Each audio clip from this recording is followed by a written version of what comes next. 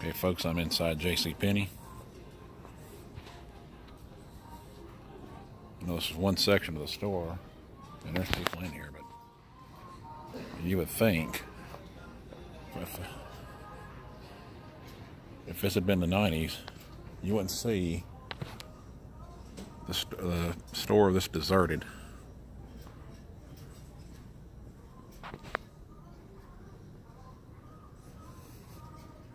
It's amazing how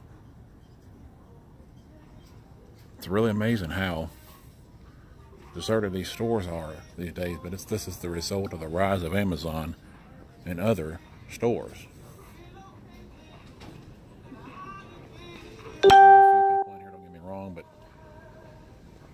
In the 90s, this place was busier than this. This is Kige Ramsey for YouTube Retail. Okay, folks, this is the the result of Sears' partial demise. You see that yellow building over there? That yellow walled off part? That's Sears. That's where Sears used to be. And Sears' problem in here was that uh, Sears never updated their store.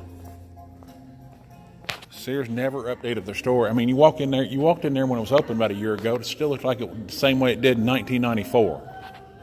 I mean, they never innovated the store. They never renovated it.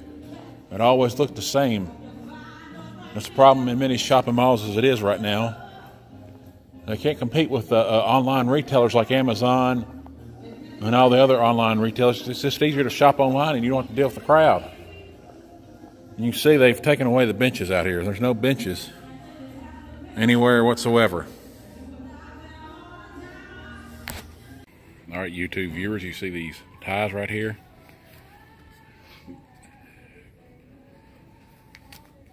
They're, they're nice ties. And if I wore one, I'd recommend them. But, folks, I'm not really a tie person. I call like to call them nooses. I only wear them when I'm taking formal pictures. But, it, and I've only worn them, I think, in one, one of my one or two of my videos. But uh, I'm just not a tie person. I refer to them as nooses. Now, as far as Belk here, they got some nice suits and everything. But it's kind of like all the other stores here in the mall where it's not really, really busy.